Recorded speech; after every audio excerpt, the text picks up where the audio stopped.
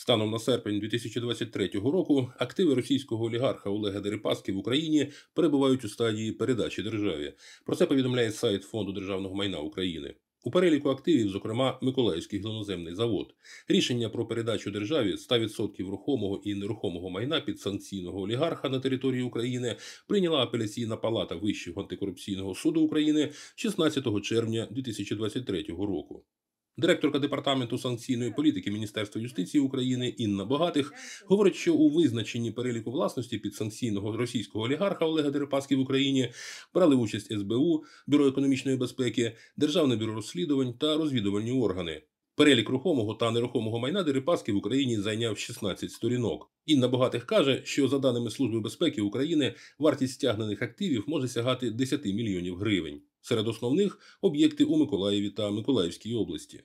Це звичайно е, Миколаївський глиноземний завод, перлина по, по факту активів і е, один із унікальних заводів е, на території України.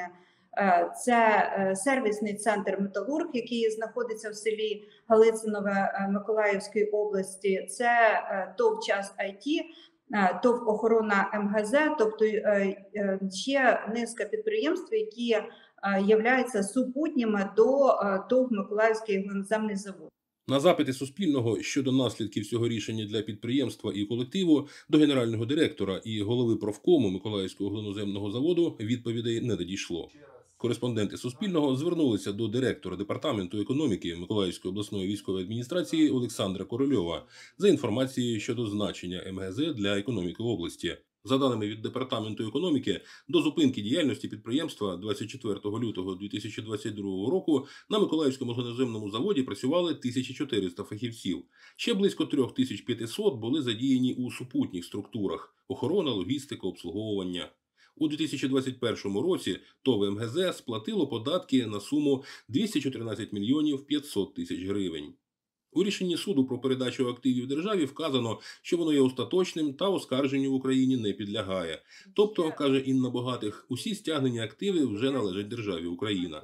Далі Кабінет міністрів має своїм розпорядженням передати ці активи в управління. Зазвичай, каже директорка департаменту санкційної політики Мін'юсту, ці функції виконує Фонд державного майна України, який визначає подальшу долю об'єктів, зокрема щодо продовження діяльності та форми власності.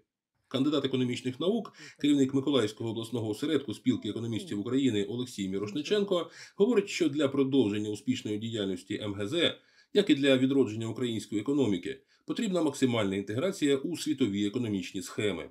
Нам потрібен такий от економічний Рамштайн, коли б наші представники там Міністерства економіки державних органів і з міністрами відповідних економіки е, відповідних розвинених країн просто думали, як там уряд не керує бізнесом, але він може допомогти, він може порадити, він може порадити своєму бізнесу, звернути увагу на це підприємство.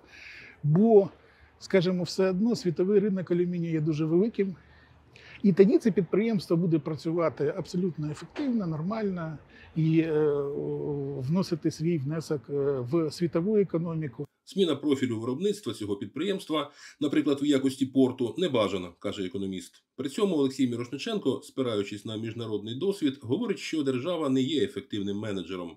Оптимальним варіантом називає купівлю провідними світовими виробниками алюмінію акції Миколаївського глиноземного заводу. Федір Бондар, Суспільне новини, Миколаївщина.